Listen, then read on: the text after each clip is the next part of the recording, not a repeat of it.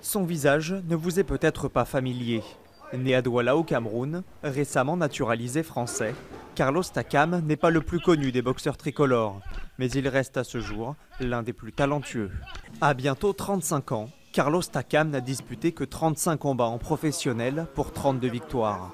En 10 ans de carrière, le franco-camerounais n'a d'ailleurs que très rarement été mis en difficulté, alors son âge n'est pas forcément synonyme d'usure.